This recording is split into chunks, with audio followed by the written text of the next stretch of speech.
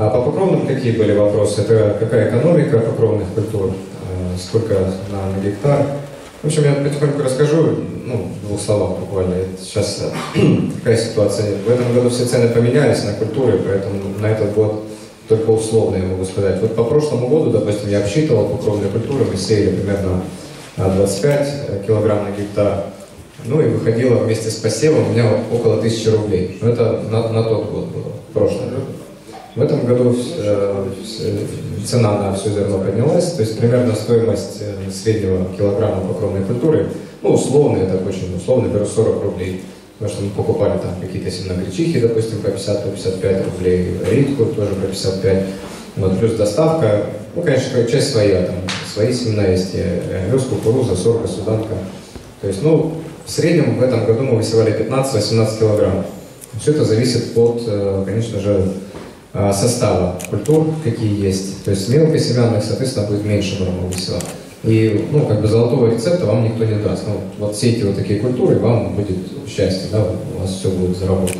То есть свои культуры вам придется сами подобрать опытным путем на своих почвах. Вот, и вы будете понимать, в какое время, когда какие культуры лучше растут, но однозначно смеси всегда это выгоднее и лучше. Они более устойчивые, дают э, большую отдачу, позитивный эффект. Остановимся так, немножко на ну, это всякие погодные условия у нас, которые бывают здесь и пыльные бури, да, и торнадо, и ливни, и негативные. Ну, в этом году у нас в Крыму много заливал, да и Краснодар, и Ростов, в принципе, с, с разных э, районов приходит такая информация. Но суть в чем? По цене на гектар семян, да, даже возьмем, допустим, 20 килограмм по 40 рублей, это будет 800 рублей на гектар затрат на семена, плюс посев. Мы сеяли в этом году в основном анкерными сеянками. По двум причинам. Во-первых, они легче ходят, быстрее происходит посев. То есть летом нам качество посева не, ну, не столь важно, как, допустим, осенью, когда мы стараемся там настроить и качество абсолютно, ну, чтобы все получить сходу. То есть летом, что очень хорошо, когда новые механизаторы у вас на, натренироваться, набить руку на покровных, потому что легче получить сходы покровных. Там разные семена, крупные, мелкие, они зайдут. Вот. Э, посев. 3-3,5 литра солярки на гектар анкерная сеялка берет, в отличие от дисковой, которая 4-5 литров берет на гектар. И скорость, конечно, производительность больше, анкерные быстрее. И летом, в чем немножко преимущество анкерной, то, что она дешевая в эксплуатации, легче, меньше солярки и больше производительность. То есть один агрегат может засеять большую площадь. То есть у нас 30-50 гектар может засевать за день. А, соответственно, ну, возьмем максимум 4 литра солярки, да, по 50 рублей, 200 рублей добавьте, вот 1000. Плюс зарплата механизатора, ну, и запчасти. Там на анкерных сеялках маленькая будет амортизация, на дисковых, соответственно, больше. Ну, вы сами знаете свою часть. Это вот по затратам. То есть от 1000 до полторы, я думаю, ну, практически все могут вложиться по затратам. Плюс добавятся затраты контроль гербицидный э, после посева. Ну, эту операцию мы и так в любом случае выполняем. И плюс э, остановка осенью. Ну, эту операцию мы также всегда выполняем. Иногда э, нужно мультивировать, то есть дополнительные затраты, ну, тоже не, не суть большие. То есть это по экономике. Что же по отдаче? Мы видели прибавку 10%, 15, 20, 30, 50 и даже 100% прибавку урожайности на некоторых культурах после некоторых покровных культур. То есть прибавка, не могу сказать, что вы, вот вы посеете и получите там там, 3 центнера или 10 центнер. Все зависит от, по нашей урожайности. Допустим, мы собирали в том году ужасные были условия по ячменям, и мы 25% получали прибавку. В этом году хорошие условия, и тоже на отдельных участках, где были покровные, мы там получали плюс 5 центнер, а по Вике ну, плюс 20, наверное, центнер. Ну, по вот этой Вике получили за счет, я думаю, азота и то, что влаги было достаточно. То есть Тут, тут все будет зависеть от вашей почвы, от условий. Но прибавку относительно от 10-15%, я думаю, можно. Но у нас мы на второй год ее видим. На второй год. За счет чего? За счет более структурной почвы, за счет лучшего влагонакопления, соответственно, более доступные э, минеральные э, питания, те, которые накопили в себе покровные культуры, они через два года разлагаются и становятся доступными, это питание для следующей культуры. То есть тут э, как бы, даже с, такой, с такого подхода подойти, с сидерального, то это уже имеет свой смысл. Но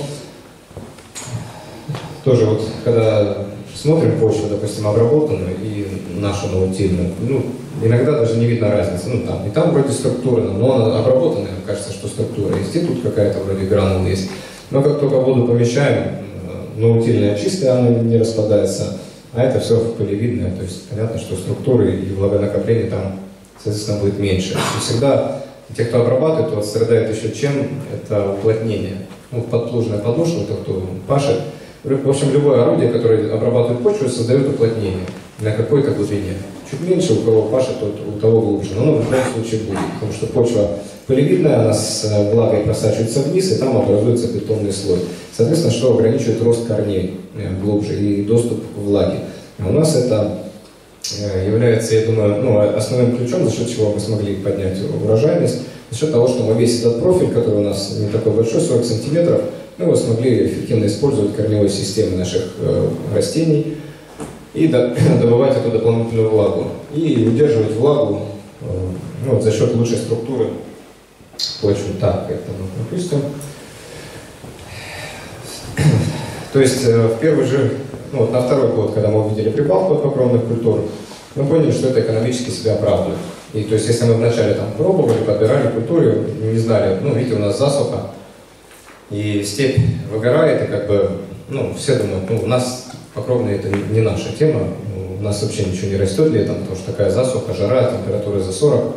Но вы видели, что степь сгорела, а покровные культуры зеленые. То есть, э, значит, это возможно. И есть ну, логические обоснования, почему это происходит. Потому что разные культуры в разное время потребляют влагу, на разную глубину идут корни, более устойчивый посев. Всегда будет разнообразный.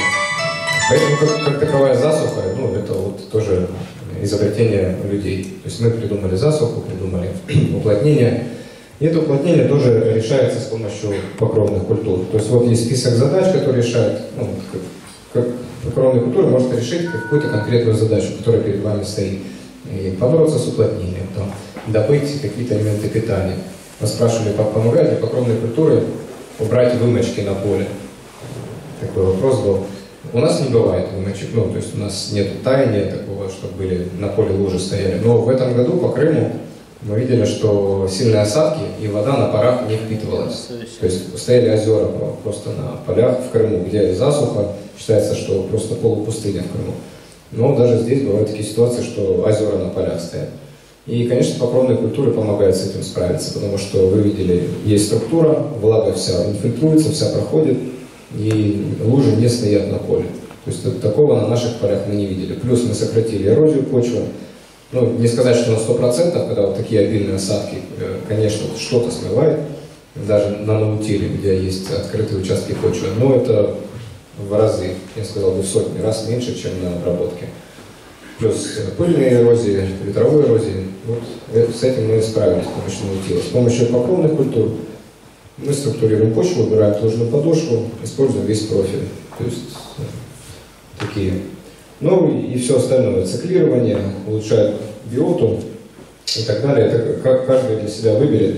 А я хочу вот на секундочку а, вот этот принцип, который мы на поле говорили, что мы всегда смотрим на культуру и забываем про почву. Ну, что первичное у нас, это культура наша или, или почва?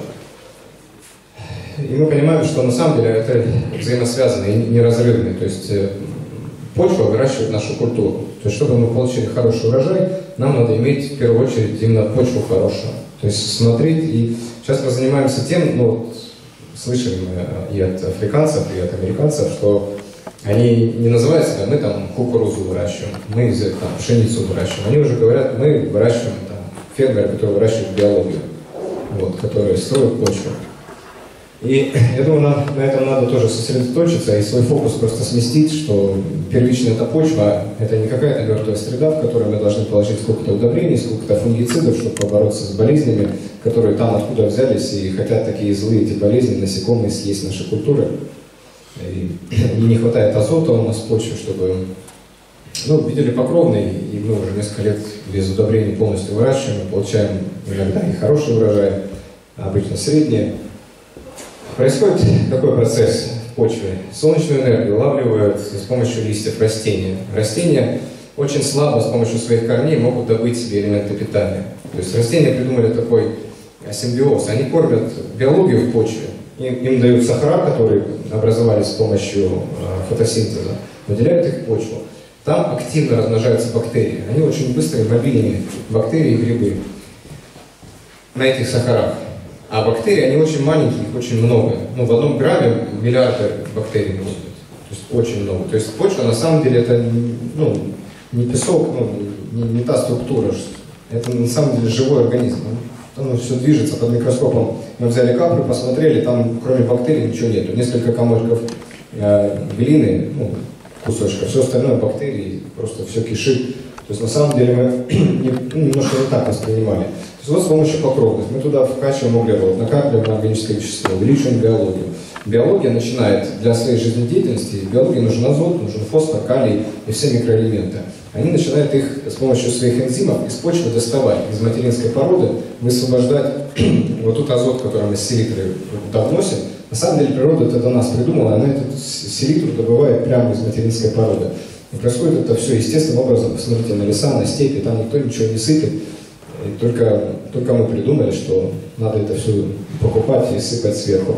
Мы там комочки, кусочки насыпали, там 100 килограмм селитры, думал, мы сейчас все улучшим. А на самом деле в почве там тонна, тонна азота есть, ДВ. Ее можно постоянно, постоянно брать. Это не считая то, что в воздухе есть. Так вот, к чему? Вот этот слайд, мы всегда его пропускали, как бы, но если задуматься, на самом деле это самый важный слайд, и самое важное, что надо вынести вот из сегодняшней поездки, это то, как э, должна функционировать почва, и то, как она функционирует в природе. То есть в почве есть э, такая сеть, целая цепочка, как, что и откуда берется. У нас есть растения, которые берут солнечный свет, углекислый газ из воздуха выделяют это все в корневую зону, биота начала расти. Достали они все элементы для своей жизнедеятельности, но они отдавать не хотят растения. Они их никогда не дадут. Биология, вот бактерия рядом с корнем, которая будет, она заберет себе азот, а корень растения не отдаст. Этот азот будет заключен в ее организме. В бактерии один атом углерода и 5 атомов азота. Нет, наоборот, 5 атомов э, углерода и 1 атом азота. 1 к 5. И чтобы растению достался этот азот, который бактерии обворовывают, как бы, да, вот на наших полях мы видим, когда у нас углеродистые есть э, остатки там, от, от зерновых, когда зерно по зерну, мы недополучаем урожай, потому что бактерии на себя весь азот из почвы забирают, чтобы разложить органическое вещество ну, сразу без селитры, без азота у нас ничего не растет. Потому что бактерии обворовывают растения. Что происходит дальше? Есть указочка?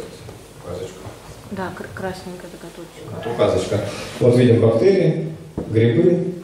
Они начинают э, питаться корневыми выделениями. Но без вот этих вот тех, кто их кушает, это простейшие, и нематоды, круглые черви. Вот они поедают этих бактерий, они высвобождают те э, элементы питания, заключенные в них, тот азот, потому что простейшего, как у человека, 1 к 30 содержание углерода к азоту. То есть съедая 5 бактерий, он должен, 6 э, э, бактерий, 5 атомов а, азота он должен высвободить. А каждая простейшая 10 тысяч бактерий съедает в день, минимум. То есть очень много азота они выкидывают и делают доступными для растений. То есть растения, они хитрые, они увеличивают бактерии, кормят простейшие, простейшие кормят кормят корм, ну, растения. И растения получают не только азот, а в этой бактерии есть и фосфор, калий, все необходимые, вот все-все элементы они могут достать из почвы, потому что в почве в недоступной форме ну, предостаточно всего, более чем. То есть на, на любой почве, на скале, посмотрите, растут деревья и растут очень большие, им всего хватает.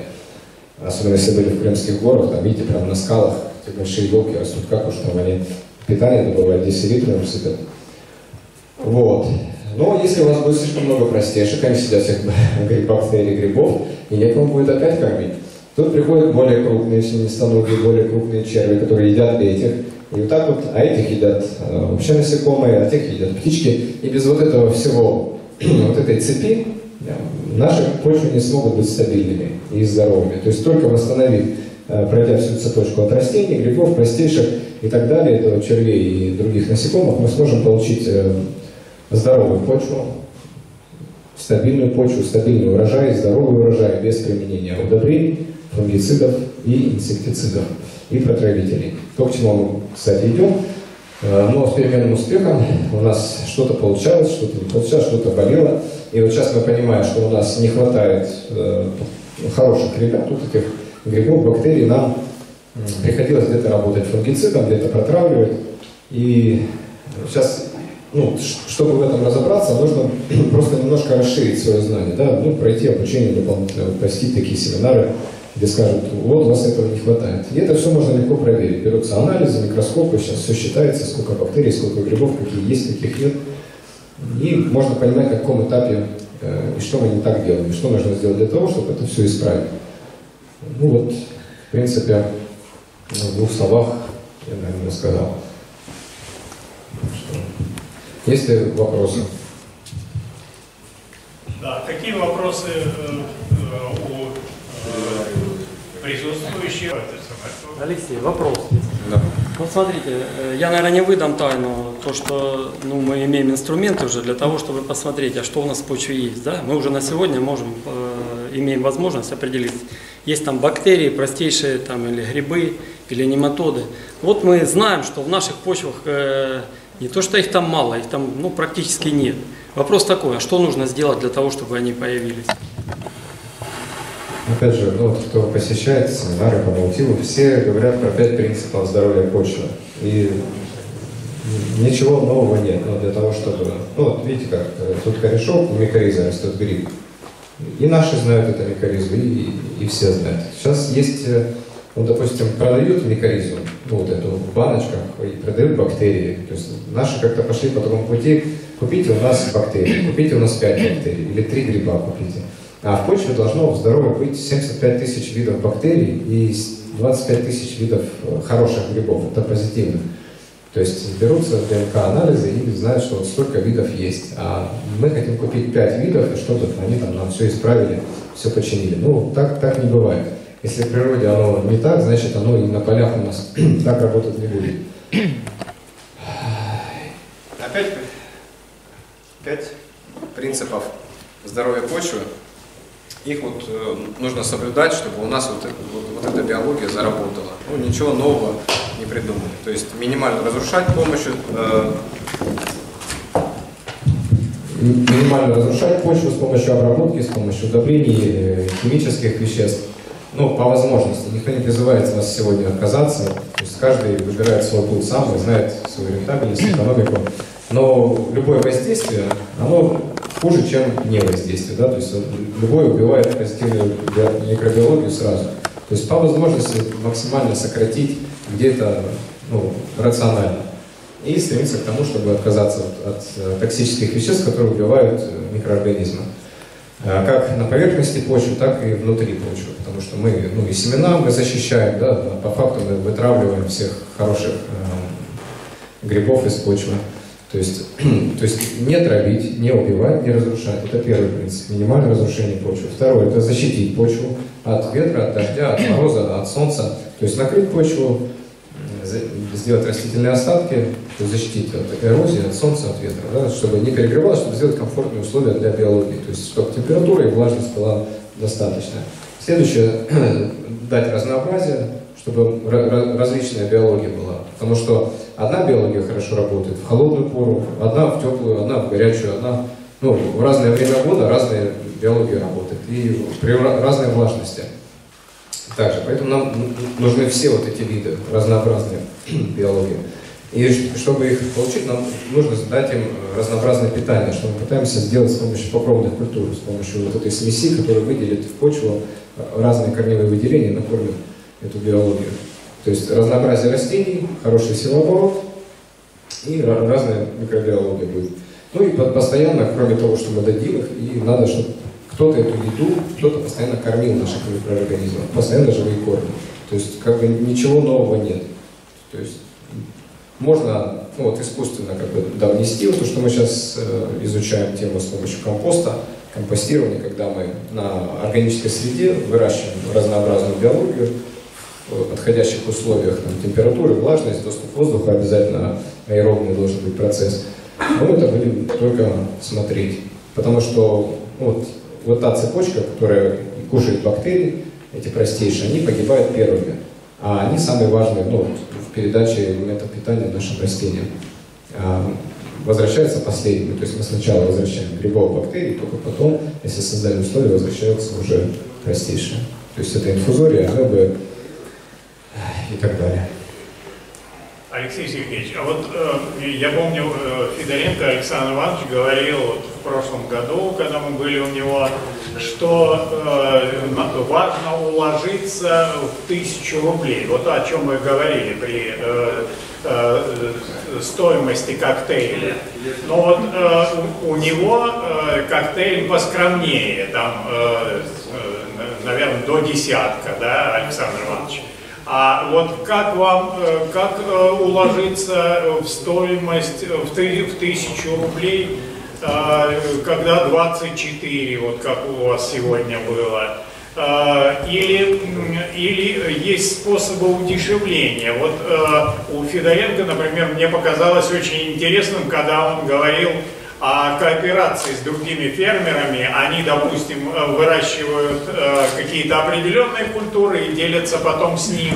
Он, в свою очередь, делится с ними э, определенными культурами для того, чтобы коктейли разнообразить, обогатить.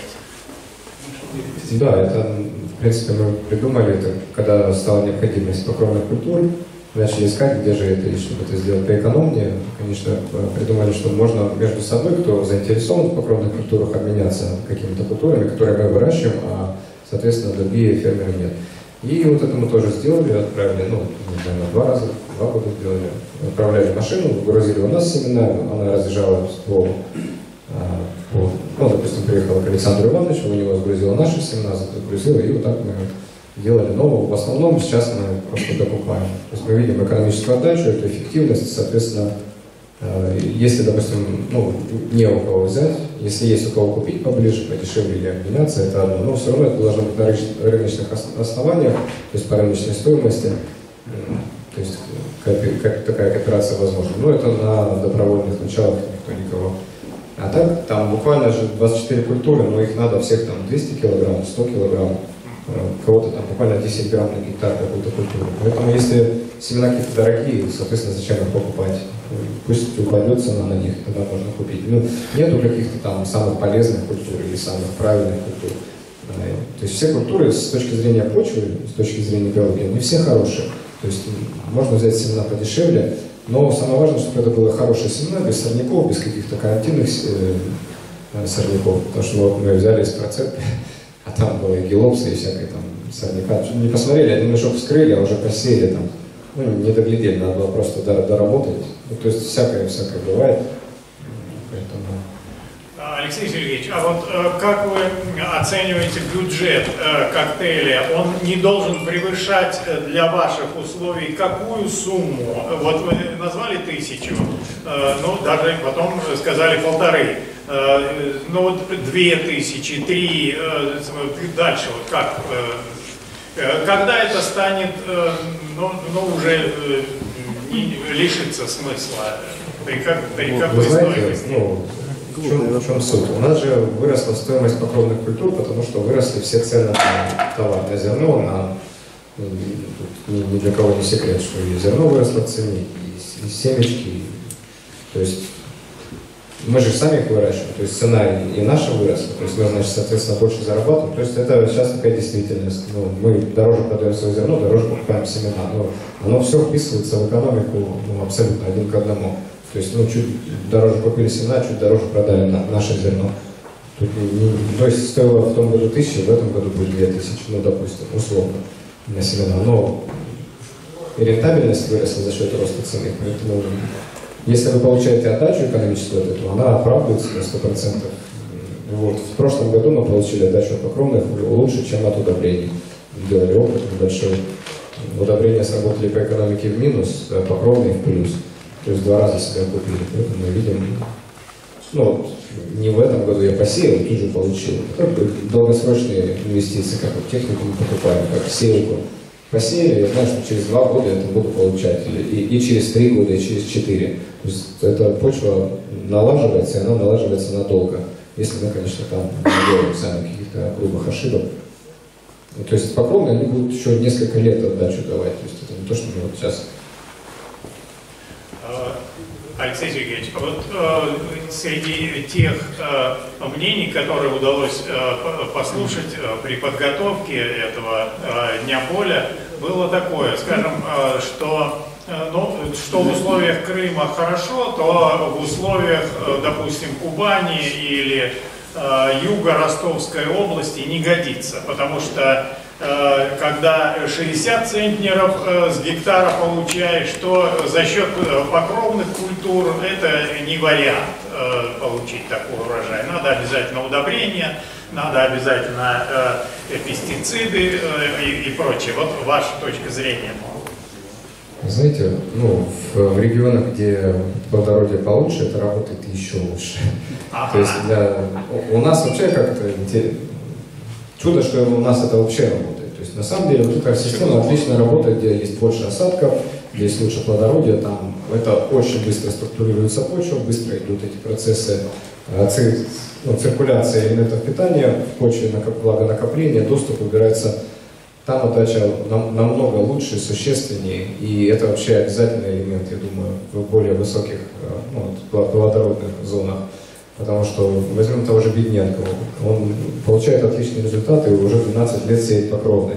И там он ну, пытается до 100 центнеров до- до- дотянуть пшеницу. То есть, а покровный это у него просто уже закон. То есть, он сеет 100%. На земле там черноземные. То есть оно, оно работает. Он не говорит, без покровных. Область. Да, Белгородская область. Без покровных, он говорит, я этого бы не получил. То есть он даже нету сомнений, сеять, не сеять, просто элемент технологии. Просто каждый год 100% засевается. А, Вот э, Виктор Корнеевич э, сегодня э, спрашивал, сколько руб га.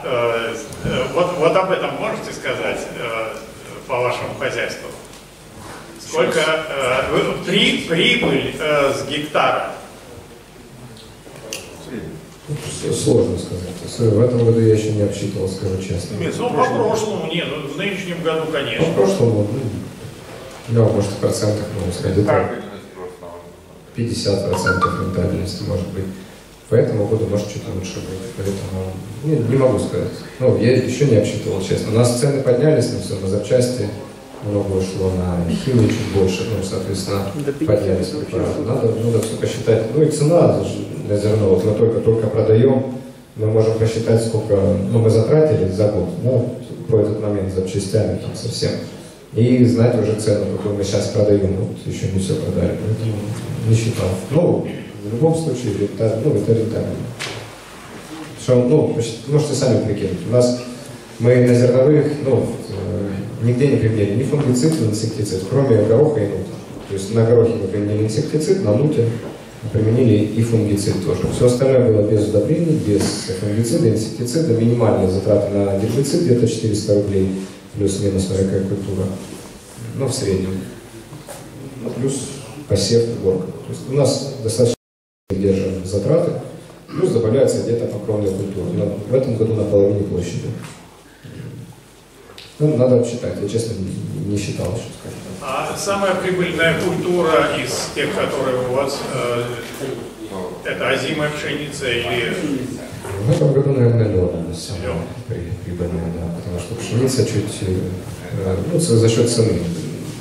Уникальная цена на лен высокая, как и У нас цены самые низкие в Крыму у нас, в нашем районе. Мы находимся самое дальше от э, Керчи, Новороссийска. А чем дальше, тем цена ниже и ниже. Даже горох, наверное, будет лучше экономика, чем на... Потому что цена на горох хорошая, в принципе, в этом году. Горох, ну, лен, чечевица, ну, все культуры, кроме зерновых, будут чуть лучше экономика. Зерновые у нас у всех ограничения, пошлины.